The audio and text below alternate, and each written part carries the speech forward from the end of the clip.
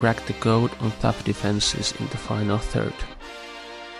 Here's a simple three-step game plan to get you there. First up, start simple. Get the ball rolling with some no-pressure passing drills. This is all about getting comfort with moving the ball around and finding the best spots to stand. It's like setting up the chessboard before a real game begins. Next, it's time to up the ante. Imagine you're facing a wall of four defenders lined up and ready to stop you. This is where you practice sliding through the pressure like a hot knife through butter.